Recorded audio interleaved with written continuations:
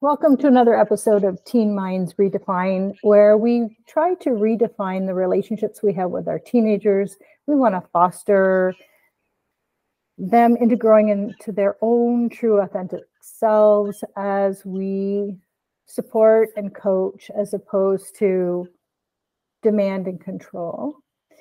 And today we are talking about empowering parents, navigating body image, food freedom and parental influence over that. And I have a beautiful guest, Jane Pilger, is a compassionate advocate empowering women who struggle with food related challenges to discover food freedom and cultivate body trust. And with a deep understanding of the complexities surrounding disordered eating and body image issues, Jane guides women on a transformative journey from battling their bodies to embracing them as allies. Drawing upon her expertise in neuroscience, trauma informed care, and compassionate coaching, Jane helps her clients unlock the missing link between their behaviors and their inner struggles. Her mission is to provide women with the tools and support they need to develop self trust, understand their behaviors, and create a safe and nurturing relationship with food and their bodies. And I'm so excited to have Jane here. Thank you for joining me today. Thank you so much, Cheryl. I'm uh, I'm I'm really excited to be here today. Me too. I think there's just so much there's so much to talk about when it comes to to body image, but I think can we start with your definition of body image? Can we start with like what is disordered eating? What is what let's define it first for people. Yeah. So body image, I mean really to to just simplify it as much as possible, body image really is your collection of thoughts and beliefs about your body. I mean, it's as simple as that. Yeah, yeah. And as far as disordered eating, you know, we could get into the the DSM-5, the the the manual that really very specifically goes in and diagnoses the various um, eating disorders and their their characteristics and all of that. And i don't i yes i think in some cases it is important and it isn't and it is necessary.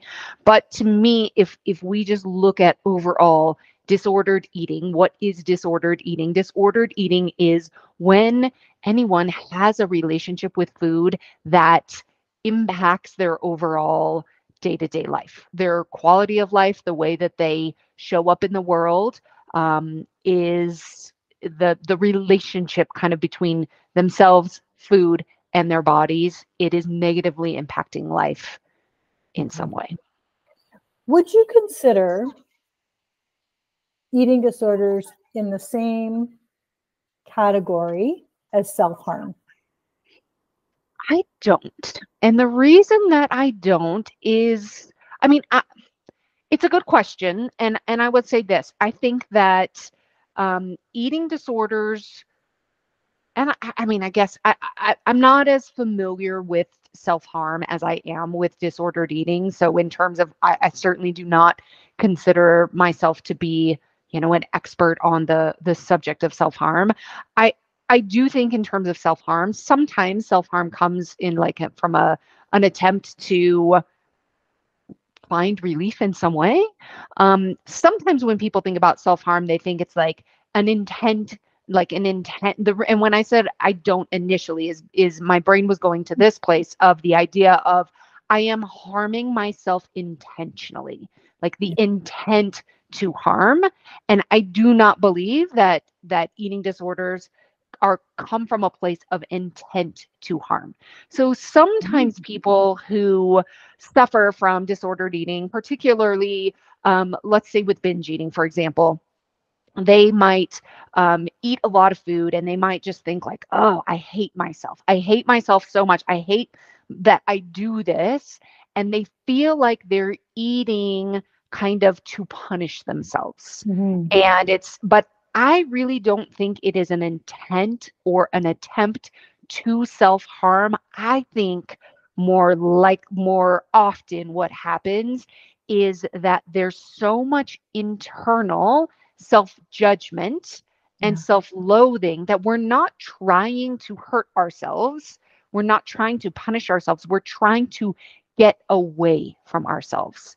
There's so much the the internal language and the dialogue is so mean and it's so pervasive, but we Mm. can't we literally cannot get away from it unless we do something that completely disconnects ourselves from ourselves. And for many people with disordered eating, they have figured out a way to use food in some way to to kind of create that disconnection from from self. And I think that's more likely what happens there. And that makes sense. It only, it actually just occurred to me like 10 minutes. I wonder if it's the same. I Mm. wonder if, so can you go over the categories or, or, I don't know, itemize what eating disorders or disordered eating is? I know there's bulimia, but what is there? What else is there? And what is it, briefly, what does it look like? Oh, well, that's a that's a really big question, and I he, personally, I don't really consider myself to be an expert in all eating disorders. Um, my, for me, binge eating binge eating is is my lived experience, both restrictive. I've I have I've kind of experienced I've experienced three different levels. So you have the more restrictive type of eating disorders, which um, when can be ana- anorexia nervosa um, and restrictive, just restrictive types of eating disorders, which is we are restricting the amount of food that we eat. Okay. There's also then binge. There's binge eating, binge eating disorder, where we're consuming large amounts of food at any given time. Mhm. There's also with binge eating, sometimes there is an attempt to compensate for the amount eaten, and sometimes there isn't. So, when there's an attempt to compensate for the amount eaten, that might look like bulimia, where maybe somebody is trying to um, pur- purge in some way. So, whether that's through vomiting, whether it's through laxatives, whether it's through excessive exercise, kind of an attempt to um, to compensate for the overconsumption. In some cases, there isn't an attempt to compensate for the overconsumption. There are also different kind of areas. There's there is if if we're looking at the DSM-5, the the diagnostic manual, there is um, the eating disorders not otherwise specified. So if it doesn't fall into these categories, there it, it there's kind of a there can be a catch-all um, for there's there's a lot of different areas where there might just be a hyper focus on the quality of food. So this is very this is something that's happening a lot more lately is kind of this emphasis on uh, you have probably heard the term clean eating Yeah. where we have this hyper focus on the quality either the quality of the food um, it has to be organic it has to be unprocessed it has to be whole there has to be there there can be this real fixation on the the type of Mhm. food Th- so that can also be kind of a, a category. If if you are if you are a person who has a hard time going to for example if you have a hard time going to um, a potluck where you don't really know what's going to be there there's going to be a lot of you know you don't really have control there's going to be maybe 10 different things people are just going to be bringing things if you're one of those people that's like i don't even like to go to those things because i can't control what's in my food i don't know what's in every single ingredient um, those types of things are, are kind of good indicators there might be some sort of uh, there might be some sort of disordered eating happening Okay, that's interesting. So, are there are there misconceptions around disordered eating? Yes. Um, I think there's a lot of misconceptions around disordered eating. There are, for example, um, one of the one of the the misconceptions I think that that that I would receive a lot is people would look at me and they would say, "You you there's no way you could have an eating disorder because if you looked at me from the outside, I'm a straight sized, average sized person Mhm. and so somebody might look at me and be like there's there's no way that you could be that you could you know be a binge eater like you're not there's kind of this idea that to have for example, to have binge eating disorder, that you would be very overweight. Mm-hmm. Or, you know, so the, the misconception is this the misconception is that you can just look at somebody and be able to tell whether or not they have an eating disorder. So basically you can have no matter what no matter what size you are, you can have an eating disorder. You can you can have you can have anorexia and be clinically in in the obese category. Wow, of- I did not know that. Absolutely. Wow. Yes. There are a lot of people who generally like live in larger bodies. They genetically are just, you know, just like dogs. We all are designed to have a different size and shape of frame of of body. But what happens is that we we end up seeing all these images and who is portrayed on TV and in the movies and in the magazines and we think, "Oh, that that is the standard of beauty that's the body i want. So what we do is we we suppress where our body naturally wants to be.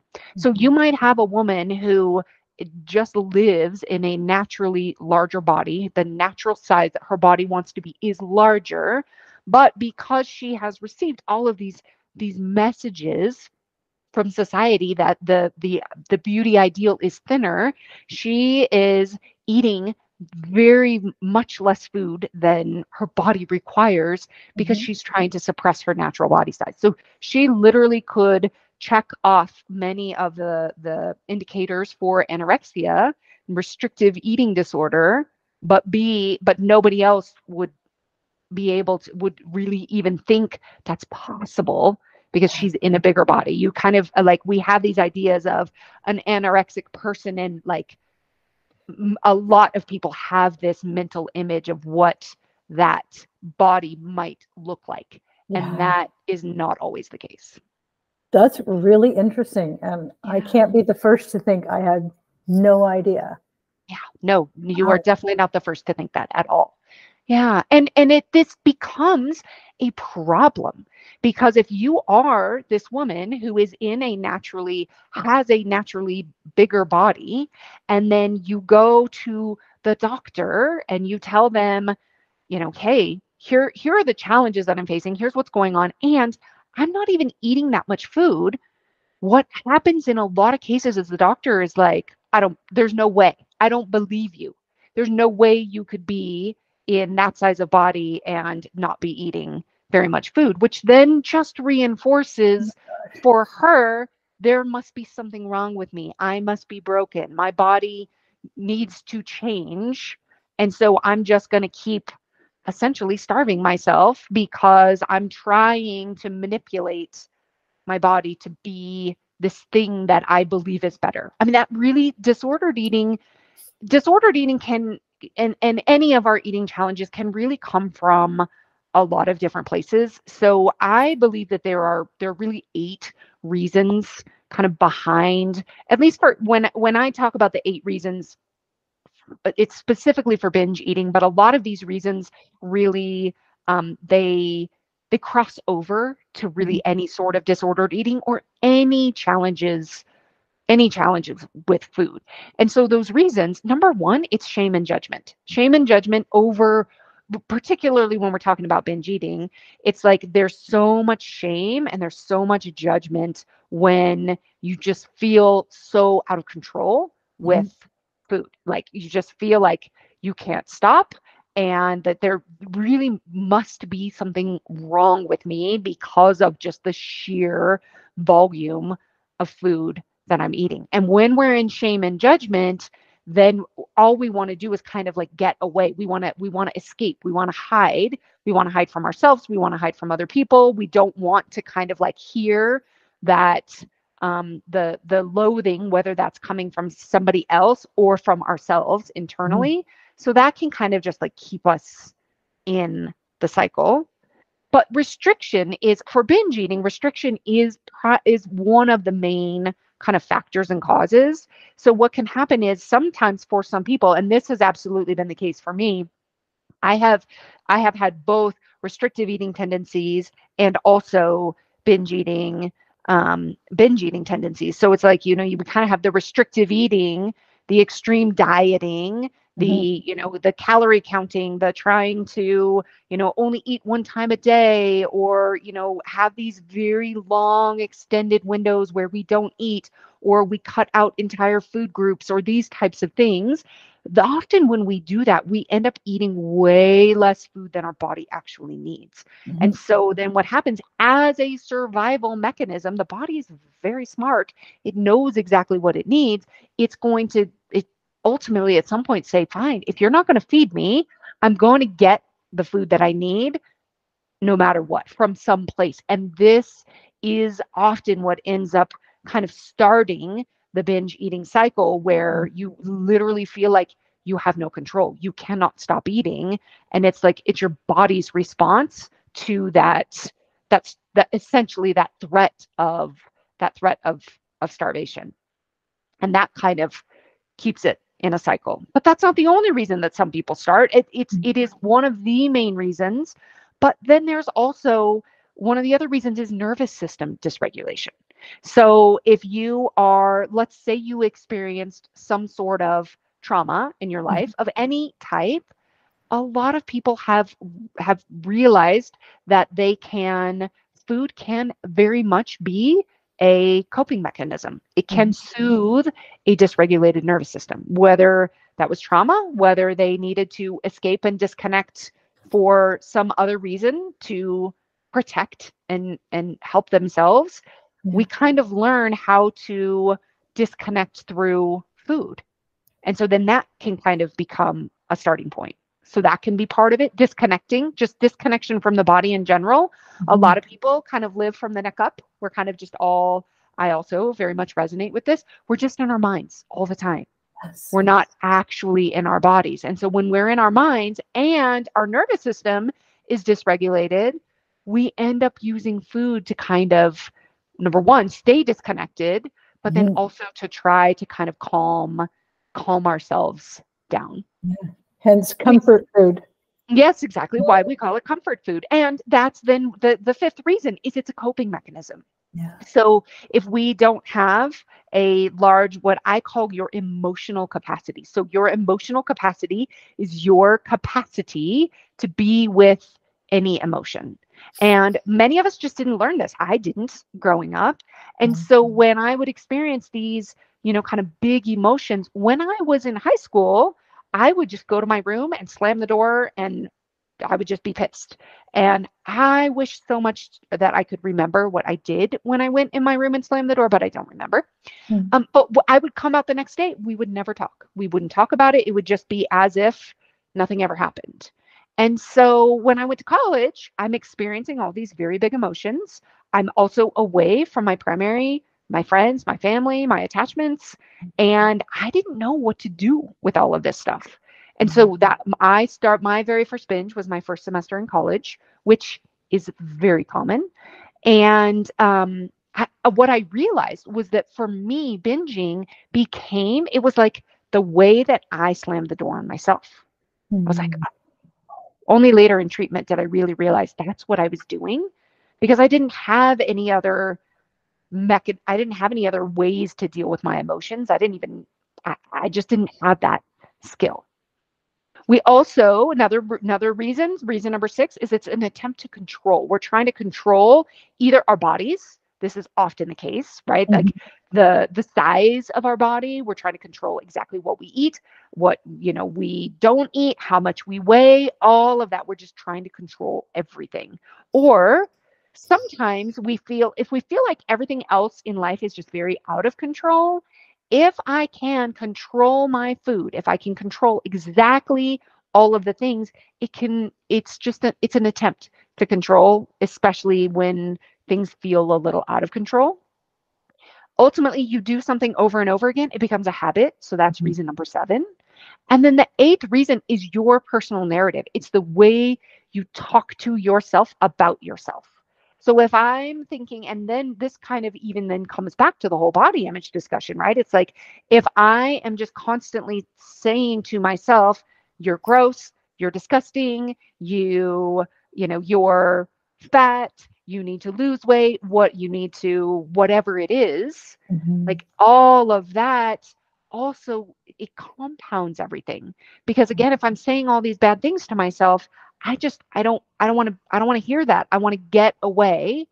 And now what i've learned to do over time and over the years is to get away from myself with food. That's how i slam the door. It's how i the other Mhm. analogy i use is like it's like it's how i turn the lights off on myself. And and some people use something else to turn the lights off on themselves right? That that disconnecting from ourself our experience our internal dialogue it's something that you know we do in a lot of different ways some people use food to do that and some people you know kind of use other other things Mhm. Wow.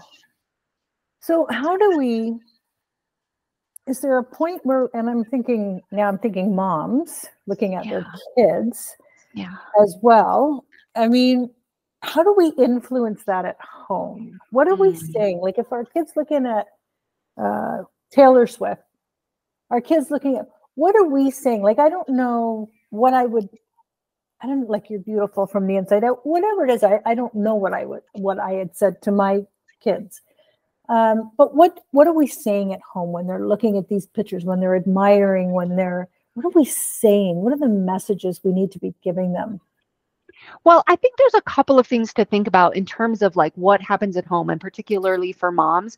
The first question that I think is important to ask is for yourself as a mom, what relationship do you have with your own body? Mm. And what I know is true for a lot of people, particularly moms, is they moms work very hard to not pass on the type of messages that they inherited. And and I do believe we are doing a much better job than Mhm. we used to. We are getting many more messages. We have many more um, varied sizes of um, role models and of of people. It's still very much challenging, but it is better than it used to be. So, and I think a lot of moms are very aware of this. They are aware of the messages, and they they work very hard to instill in their children you're beautiful no matter what and and and work on instilling those but here's where i see the disconnect they work very hard on what they say to their children while still having their own very challenging relationship with themselves so it's Mhm. kind of like the, you know, do what I say, not what I do. Our kids know when we have challenging relationship with food and with our bodies, our kids know. This shows up in if you are if you are a parent who does not want to be in pictures, your kid knows it's why. Like this doesn't like you don't not want to be in pictures just for any reason other than you do not like the way that you look. Mhm. So so there's that. Like that's a that's a huge one.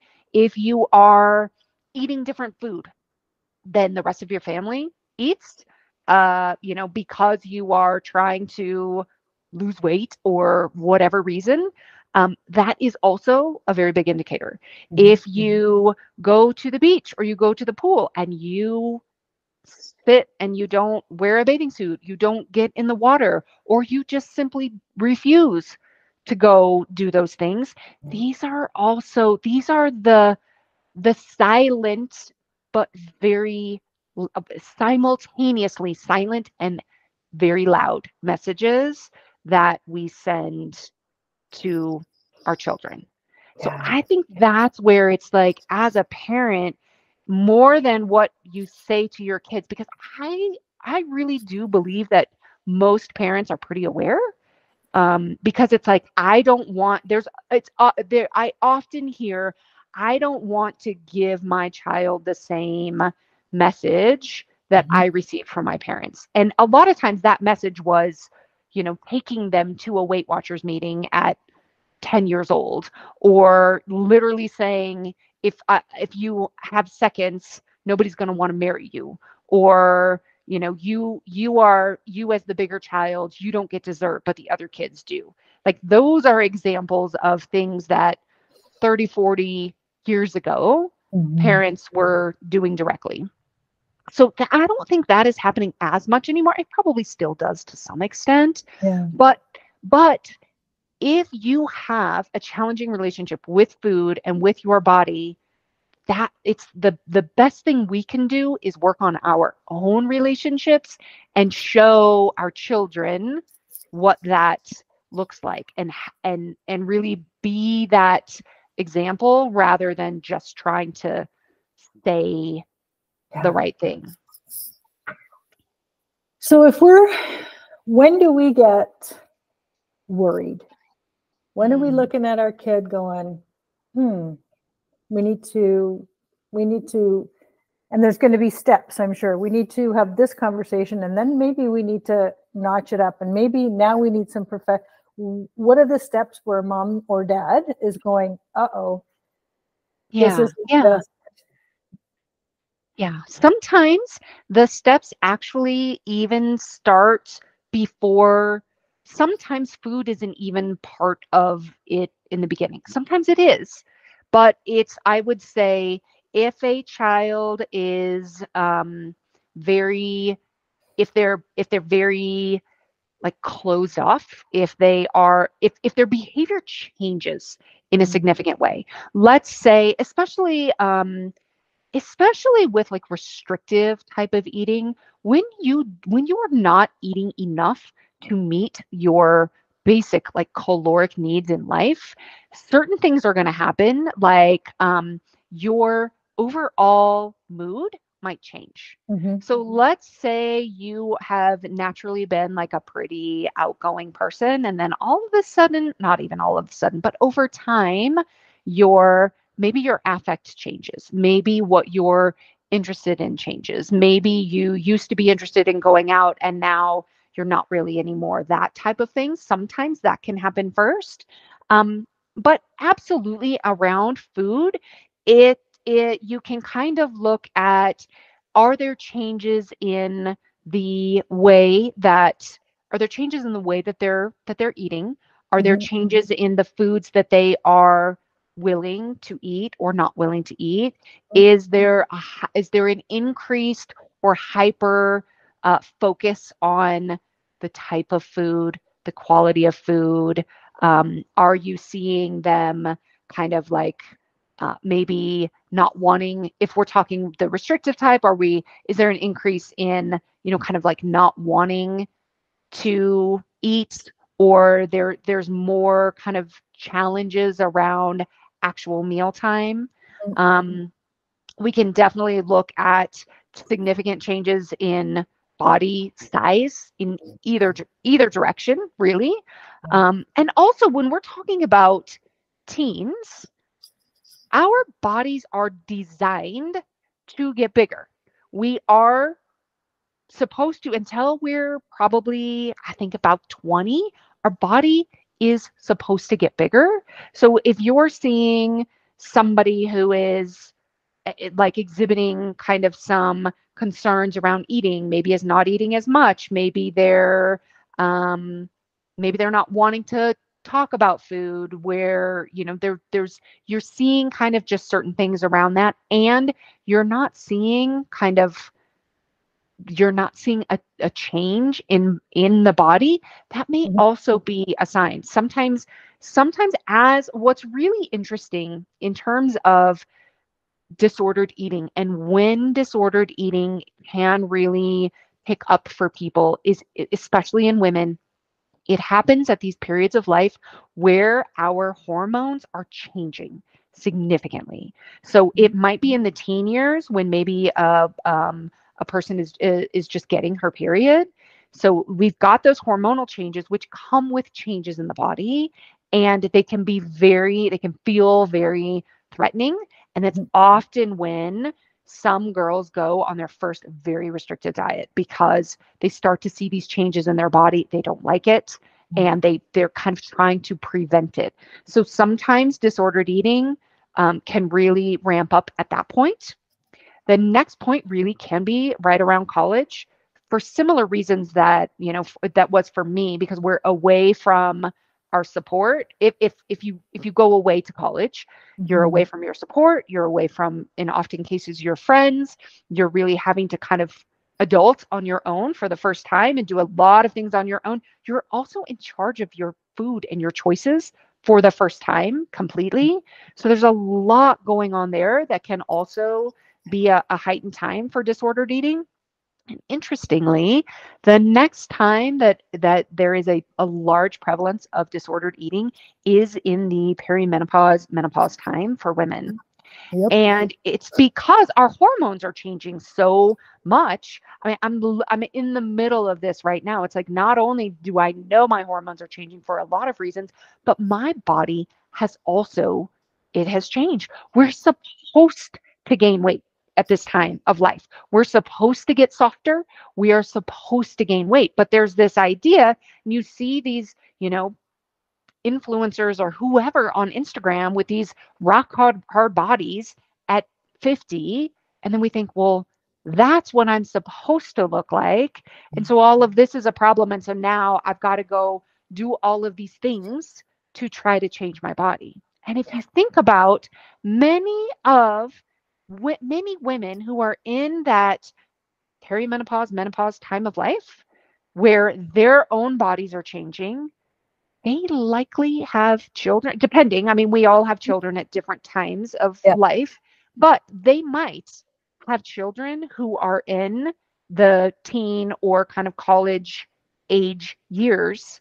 So not only is their body changing, but then if you just imagine kind of the the influence that's happening there while you they're the the mom is now dealing with her changing body and how she's dealing with it and responding to it and reacting to it is very likely going to be it's going to be seen Mhm. by the child and then the child then you know it's kind of not only do they have that influence but you also have all the other kids at school you have everything else that we see in the media on tv in the movies everything else Yeah, I hear you. And, and I'm, yeah, all the conversation I think I have in my own head. And I think actually talking to you a couple of weeks ago, you said yeah. exactly that. Your body is supposed to do these things. yes And it really, it, it has sat with me since you said that. So I'm glad you said it. I'm glad you said it again because my, yeah, my body is, is so different now. I look and I'm like, oh my gosh, but but I feel really good. Yeah. I feel I you know I I'm careful with what I'm eating, but I but I, when I'm eating, I feel good about what I'm eating, and when I'm you know cheat day, whatever that is. It's not because I feel like it's a cheat day. I feel like the energy around, oh, I really feel like this pizza today, and I really feel like this glass of wine. And and it's an energy. It's not a oh, I shouldn't be doing this, and that's okay. I'll be good for the rest of the week. And but I don't do that anymore. yeah the Just energy because of that behind Conversation is Yeah. really Yes. important. yes the energy behind our choices is everything and the even the idea of a cheat day it's so problematic right because it's like what are we cheating on i mean the the rules and the restrictions and the rigidity and all of that like it just it sets us up for it literally sets us up for like these disordered eating patterns. And so even it's like as a as like to go back to the question of as a mom what do we do? Ask yourself like ask yourself these questions. Am i using any of these words around food? Am i saying bad or good. I've been good. I've been so good today. I've been so good all week. Am i saying i deserve this? I deserve to have pizza. I've been so good. Am Mm, i using things like cheat day right? Like so it, this is yes. it's, it- it's it's a term that so many people have used and but the term in and of itself is problematic. Mhm. am i uh, looking at a menu and saying uh well i really should order this but i've had a really hard day so i'm going to get this am i saying well i should be good but i'm going to be bad and I'll be better tomorrow. Like, you know, like just even kind of like those types of things, the way that we talk about food matters yeah. because all of those things, what they do is they create morality around food. It's good and it's bad. And if there are good choices and bad choices, then what we do is we end up saying, well, if I didn't make the good choice, then I must be bad. Mm-hmm. We personalize it and we then think, I'm bad for doing that. Now, I mean, if I ate pizza all day, every day, I would just feel gross. I just, I would not feel good in my body, but that doesn't make it bad food. Yeah. So the way that I love to talk about food and like eating, like just decisions around eating is is is I kind of have a threefold approach: nurturing, supportive, and sustainable. Mm-hmm. So is this choice nurturing? Nurturing might be uh it might be ice cream on a warm summer day. I mean, that may be very nurturing to me. Mm-hmm. It might be something completely different. Like nurturing does not have to mean, you know, it is 100% healthy and whole and all those things, right? Mm-hmm. Nurturing. Is it supportive? Is it supportive for whatever I am looking for food to do for me in this moment? Mm-hmm. Because I think food can absolutely can and does serve a lot of purposes. Mm-hmm sometimes people say like uh, i just want food to be fuel and that's it nothing else. But uh, you know I, I, personally i think that food has a has a lot of places. Yes food absolutely is fuel. F- food does fuel a lot of what we do in life and that's really important. And food is also pleasurable. Food is for gathering and for celebration yeah. and for enjoyment. It it absolutely can be all of those things. So for me, it's nurturing, supportive, and the last one is so important and it's sustainable. Can I eat this way for the rest of my life? Mm. It's not a like I'm not on a you know plan that I can I can only do for 30 days or you know 75 days or you know three weeks until then you know I'm off the wagon or whatever. It's like sustainable. I literally no matter what, no matter if I'm having the best day ever or the worst day ever. Like this is what I can do kind of for myself. It's really like that supportive and sustainable approach. Yeah. And I liked even how you started the whole conversation where you're you're in your head. Yes. Whereas when you when you really think about eating, and the same as what I just said, it's like, how does it make me feel? Yes. And and literally I could yep, go to McDonald's and I could have fries and a burger. And I know in an hour, I'm going to feel like a bag of crap. And if yeah. I realize that, but can I go to a really nice gourmet burger place? Can I have just this great, you know, just to kind of satisfy what I'm feeling like at that moment? And I'm not going to feel this mound of regret because I'm not sitting in the washroom with Tums. but but yeah I, I, like that and i you know i think that's conversations to have at home well how, what do you what do you literally like we say what do you feel like yeah what do you feel yeah. like yeah yes. what do you really like think about it what do you feel like hmm. and that's i think is so important and i love um i just i want to respect the time of this but i also want to say i want to add one thing to that though real yeah, quick in terms please. of like conver- conversations to have at home so I absolutely agree with what you're saying. And here's the thing that I think parents could do beautifully with their children. It's like, tell me, like, really understanding around like food choices. Why do you like this food? What is it? What is it about this food that you really like? So it might be so because sometimes especially especially if we're trying to make choices because well it's just the least amount of calories right? Like uh, this is if i eat this then i'll weigh less tomorrow mm-hmm. right? Like sometimes that's the decision and if that's the decision we want to know that but it's like if we can really understand why are we making these choices? What it what huh okay so like what do you feel like? Oh i feel like a salad. How come? What is it about a salad that would be like really amazing to you. And it might be, ah, oh, I just love some fresh produce right now. This is in season, mm. and mm. you know, when I eat a salad afterwards, like I just feel really good. I feel energized, whatever it is, right? Or if, and if that's the answer, it's like amazing. If the Mhm. answer is, well, I'm afraid that if I like what I really want is this, but I'm afraid if I eat this, then I won't be able to do this, or I'm trying to fit into my prom dress, you know, because prom is in two weeks or whatever. Like that right there is going to kind of be able to show you what are the decisions. Mhm. It might be like, oh, well, I really want, um, I really want to eat, like, I feel like, let's say it's like fried chicken and mashed potatoes and biscuits and macaroni and cheese. Okay, amazing. How come? Like, what is it about that? Like, what sounds really good? Um, you know, like, what do you like about it? Like, really, I love for anyone to really understand, like, with your food choices, it's like, what do you like to eat and why? yeah. So many people that I work with, they don't even know what they like to eat. They're just like, I have just eaten these foods for years because somebody told me to. They were on a list. They're like approved by any diet I've ever been on. This is just Yep. like what I eat. And it's like, okay, well, let's get really like, do you even like that food? If you do, why? What do you like about it? Is it the texture? Is it the flavor? Do you like this brand or do you like this brand?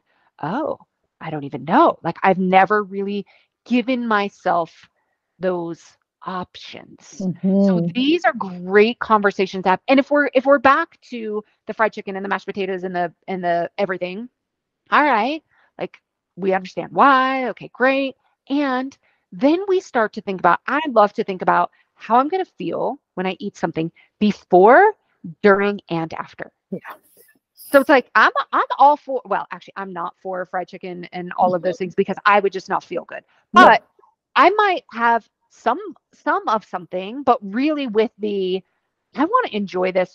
I want to like enjoy the anticipation of it. I want to enjoy it while I'm eating and I want to like feel really good afterwards as well. Mhm. And there is a place where you can find that enjoyment in all of the areas and then you're not in the uh like I feel gross. I ate too much. I'm overfull. Like if you really stay connected, Mhm. you have that intention, that purpose, you really are eating what you truly want, listening to your body's wisdom, like it's it is so possible to have this amazing connected relationship with yourself and with food. Yeah, that's so good.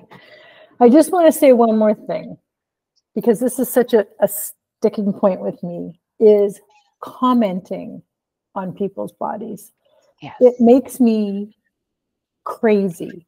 Oh, he's gotten bigger. Oh, he's gotten smaller. Oh, look, I've lost 10 pounds. Oh, oh, he or she or whatever. Like just commenting, period. Yeah. Can you talk Yes. to me? basically the uh, uh you know i really learned about i learned about the dangers of this i would say through my I was i went through um, intensive outpatient therapy two, two rounds and in my time in that um, treatment was when i really just learned about the dangers of commenting on bodies Mhm. any any comment at all whether we're talking whether we comment on somebody who's lost weight whether we comment on somebody who's gained weight. Number one we never have any idea what is going on with anybody. But when i think about for myself specifically when i was at the height of my restriction and my disordered eating i received the most compliments on my body. So here's what happens is you receive these compliments on your body. You're doing this stuff restrictively eating doing things that literally are so like detrimental physically to your body then you receive these compliments "Ah, you look so great. Oh my gosh. I wish my arms looked like that. What are you doing? So then what do i hear is keep going. It's like that reinforcement and this happened to me and i have heard this from so many people. It's like then we get this it's like this affirmation to continue with the disordered eating. And then it just continues and continues. And then at some point if like for me then the binging then comes back because there's this it's it's the pendulum effect of uh, Mhm. that is just natural for us, then the weight gain starts coming back on. And then there's just this fear. Oh my gosh, now I'm getting bigger. What are people going to say? Like it's this, it, it's, it's so problematic.